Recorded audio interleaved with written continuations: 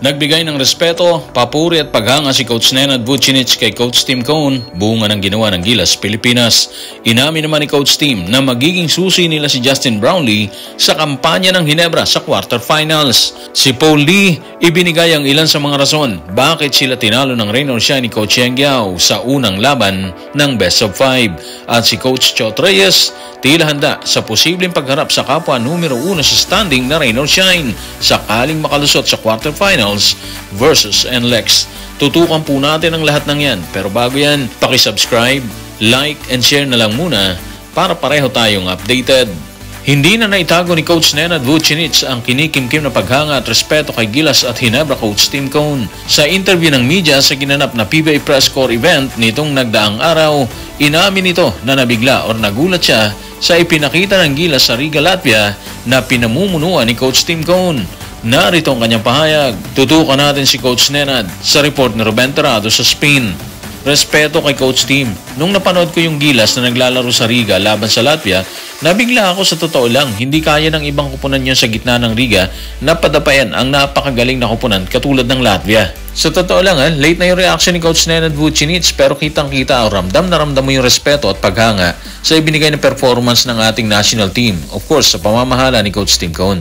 Totoo yung sinabi niya, mahirap para sa isang team na katulad ng Gilas na hindi ganun kasolid ang mga pinakita sa tune-up games para talunin ang powerhouse na Latvia, di ba? Unang-una, kung ma-intimidate ka sa kanila, talo ka na kaagad doon. Wala ka na kaagad magagawa doon. Sobrang lakas kasi nila at nakita natin lahat yan sa kampanyang ginawa ng Latvia sa ginanap na World Cup dito sa Maynila. Pero ang ginawa ng Gilas, siguro sa instruction na rin ni Coach Tim Cone, hindi sila nagpa-intimidate doon. Tinabunan nila yung ganong mentality at ang resulta, nagkumahog yung Latvia. Nasorpresa sila, imbes kasi natambakan nila ang gila, sila yung natambakan dun eh. At kalaunan, kahit nag-effort talaga sila para habulin sa dulo yung panalo versus Gilas, hindi na nila nagawa yon. Talo na sila. So respeto talaga kay Coach Team at sa buong grupo ng Gilas Pilipinas. Kung paghanga at respeto ang ibinato ni Coach Nenad, hindi naman ikinaila ni Coach Team na magiging susi nila si Justin Brownlee sa kampanya ng Hinebra sa quarterfinals na nakatakdang magsimula ngayong September 26 versus Meralco sa ganap na ikalima ng hapon. Narito ang kanyang pasabog. Tutukan natin si Coach Team sa report ni Richard D. ng The Manila Times. Sa tingin ko, mag evolve yan sa ating opensa. Yung opensa kasi natin, pantay-pantay na oportunidad dyan. At si Justin, sanay siya sa pagkuha ng kanyang pwesto. Ang intention niya sa bawat laro kasi, isama yung kanyang mga kasamahan sa kupunan. The more na isama niya yung mga teammates niya, mas mahirap siyang depensahan. Yan yung filosofiya na meron kami. So, ibig sabihin ni Coach Team, nakasentro talaga ang opensa nila kay Justin Brownlee ngayong quarterfinals. Depende na lang siguro kung paano itatrato ng Meralco ni Coach Nenad at ni Coach Luigi yung ilalatag na opensa ni Coach Tim Cone.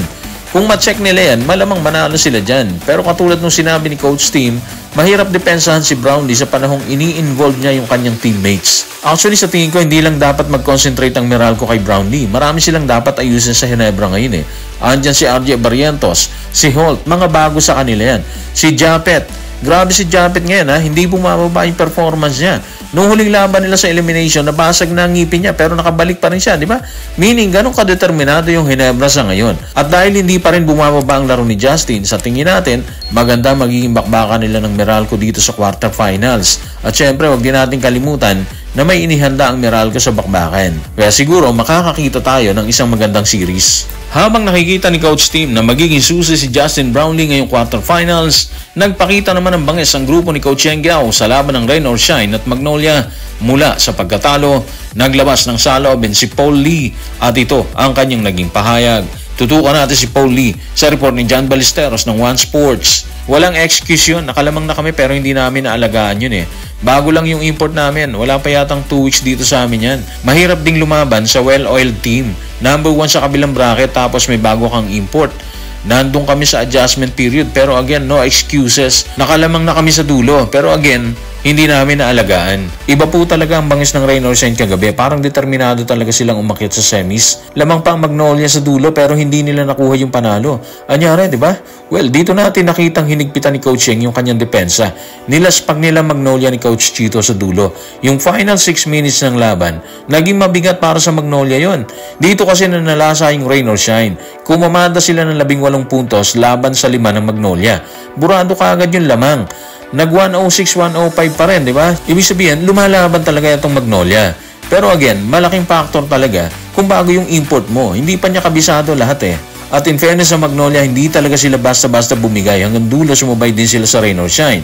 Problema, hindi talaga siguro para sa kanila yung gabing yon. Ngayon, nakauna na si Coach Yeng. Sigurado yung susunod na laban sa Game 2 ng Best of 5 sa quarterfinals, mas magiging mainit yan. Babawi kasi Magnolia dyan. Well, ang grupo ni Coach Yeng, maglalatag naman sila ng matinding opensa kasama ang inihanda nilang depensa para putulin yung paghahangad ng grupo ni Coach Chito na makatabla sa serye. Bago patuloy ang bakbakan ng Rain Shine ng Magnolia, nauna nang nagpahayag si Coach Yeng ng pagkadismaya sa kasalukuyang format ng Governor's Cup. Ang isyo hindi rin lingid kay Coach Shot Reyes ng TNT na nangunguna din sa standing katulad ng Rain Shine. Tanong, paano tinanggap ni Coach Shot ang issue? Tutukan natin si Coach Chot sa report ni Ruben Terrado sa spin. I must say, nagulat ako. Hindi ko ito inaasahan eh. Kung yun ang inaprubahan ng board or ng PBA board, kailangan sundin natin yan. Yan na yun eh. Sa ngayon, nakafocus na kami dito sa serye. Unusual, nagulat ako. Na-approve yan ng board, so wala tayong magagawa dyan. Okay, so base kay Coach Chot, tinanggap na niya ng maayos yung format. Alam niya na medyo kakaiba, pero dahil ando na, nakakasana yan, tinanggap niya ng maayos. At ang resulta, nagbunga din ang kanyang kampanya. Inunahan na nila ang NLEX sa score na 107-102. May isa na silang panalo sa best of 5 ng quarterfinals. At malaking factor sa panalo ng TNT yung pagkamada ni RHJ ng 45 points. Ang laki ha. 10 rebounds, 7 assists at 3 steals. Siyempre hindi niya kinaya mag-isa yan. Andyan lahat eh. Si RR Pugoy 13, si Castro 12, si Ray ng Batak 11. So base sa resulta, alam natin medyo malayo pa yung laban dahil best of 5 po yan. Pero hindi mo talaga pwedeng isang tabi yung posibilidad na baka Rain or Shane at TNT magharap sa semis. Dalawang team na parehong number 1. Yung TNT number 1 sila sa Group A. Yung Rain or Shine number 1 naman sila dito sa Group B. Pero katulad ng pahayag ni Coach Shot, wala na silang magagawa dyan. Yan na yan, nakakasana yung format. Ibig sabihin, handa siyang harapin ng maayos ang rain or shine sakaling sila ang palaren sa quarterfinals. So guys, maraming maraming salamat.